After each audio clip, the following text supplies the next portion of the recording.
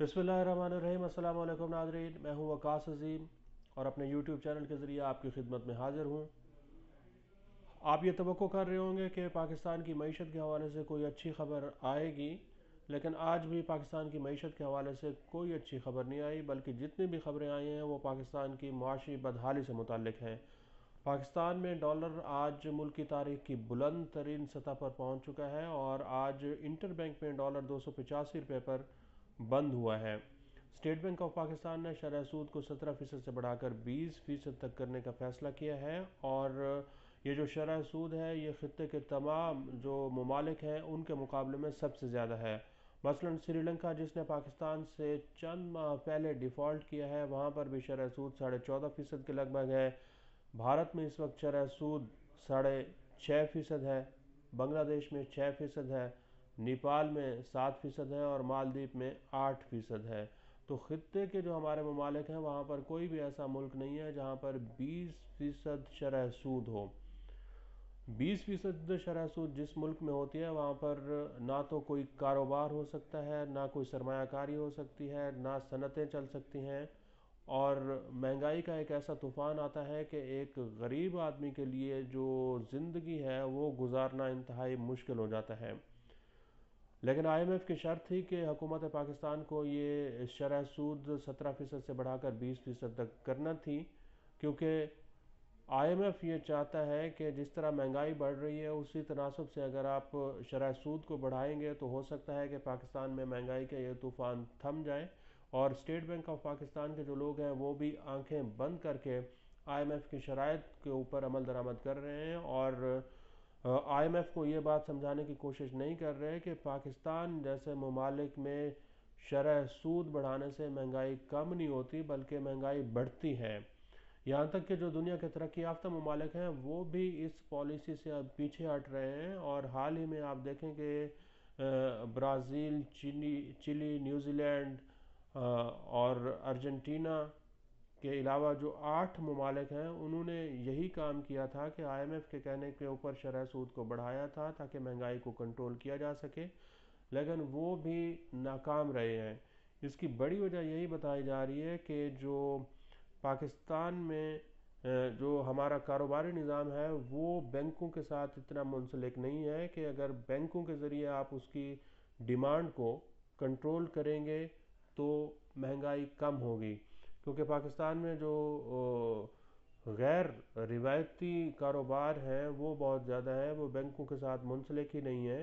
तो बैंक जितना मर्ज़ी आप वो पॉलिसी रेट उसको बढ़ाते जाए, महँगाई कम नहीं होगी। इसके लिए जो इंतज़ामी इकदाम हैं, वो करने की ज़रूरत है, क्योंकि महँगाई की जो है, वो पाकिस्तान में उसकी दो तीन बड़ी वजह है। पहली वजह यही है कि पाकिस्तान में डॉलर मुसलसल बढ़ रहा है और आलमी मार्केट में तेल की जो कीमतें हैं वो भी बढ़ रही हैं और पाकिस्तान ने तीसरी बड़ा वजह यह है कि आईएमएफ की जो शराइ हैं, उसके ऊपर अमल दरामद किया है और पाकिस्तान के अंदर आप देखें कि बिजली और गैस की कीमतों में मुसलसल इजाफा हुआ है। यहाँ तक कि बिजली जो है, वो आप पाकिस्तान के अंदर एक आम आदमी की पहुँच से बिल्कुल बाहर हो चुकी है। महँगाई इकतीस शरिया पाँच पाँच फ़ीसद तक है तो एक आम आदमी के लिए गुजारा करना इंतहाई मुश्किल हो रहा है।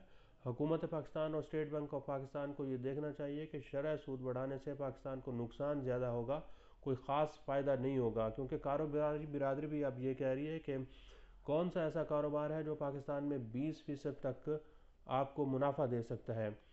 हकीकत तो ये है कि पाकिस्तान में जो कारोबारी बिरादरी है, उनको बीस बीस फ़ीसद नहीं, बल्कि बाईस फ़ीसद पर आप कर्ज कर्ज़ा देते हैं। चौबीस फ़ीसद तक शरह सूद है। और शरह सूद अगर 20 फ़ीसद भी अब ऑफिशियली सरकारी तौर पर कर दी गई है तो इसका एक तो सबसे बड़ा नुकसान पाकिस्तान की हुकूमत को ख़ुद होगा, क्योंकि इससे जो मकामी कर्ज़े हैं वो बढ़ेंगे और सूद की जो अदायगियाँ हैं वो बढ़ेंगी।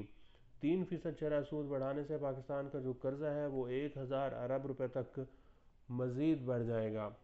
जो बड़े बड़े सेक्टर इससे मुतासर होंगे। एक तो गाड़ियों का जो सेक्टर है, वो पहले ही पिछले छः माह से बहुत ज़्यादा मुतासर है। अगरचे उसकी कीमतें बढ़ाई जा रही हैं, लेकिन उसकी जो प्रोडक्शन है, वो कम होती जा रही है। मज़ीद अगर शरह सूद बीस फ़ीसद हो गई है तो इससे जो बैंकों की फाइनेंसिंग है, बैंक अब महँगे दामों गाड़ियाँ देंगे, मोटरसाइकिलों की कीमतें बढ़ जाएँगी। इसी तरह स्टील और सरिये की कीमत बढ़ेगी। जो तामीराती शोबा है, वो इससे बहुत ज़्यादा मुतासर होगा।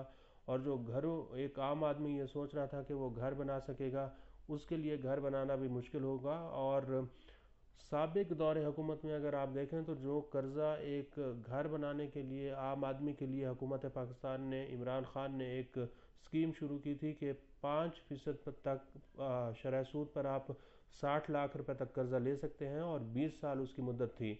लेकिन अब घर बनाने के लिए जो कर्ज़ा पहले पाँच फ़ीसद तक मिल रहा था अब वो बाईस फ़ीसद शरह सूद पर मिलेगा।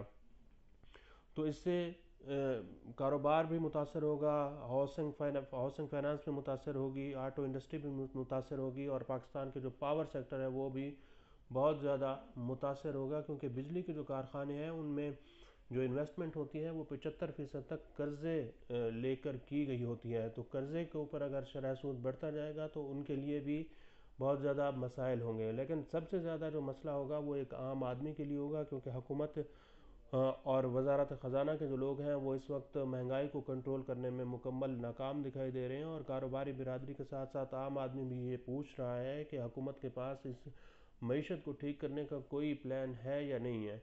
हुकूमत जो है, वो कारोबारी बिरादरी को भी ये ये उम्मीद नहीं दिला रही और उनको ये वाज तौर पर नहीं बता रही कि पाकिस्तान के हालात कब तक ये इसी तरह चलते रहेंगे और कब तक हालात ठीक होंगे। क्योंकि बीस फ़ीसद शरह सूद से हर तबका फ़िक्र के लोग मुतासर होंगे। आप मार्केट में जाएँगे तो कल से आपको एक नया भाषण दिया जाएगा कि शरह सूद सत्रह फ़ीसद से बढ़कर बीस फ़ीसद हो चुकी है। डॉलर दो सौ पचासी रुपये का मार्केट में है और ओपन मार्केट में दो सौ नब्बे, दो सौ पचानवे रुपये का फ़रोख्त हो रहा है। तो हर चीज़ की कीमत पाकिस्तान में महँगाई मुसलसल बढ़ती ही रहेगी।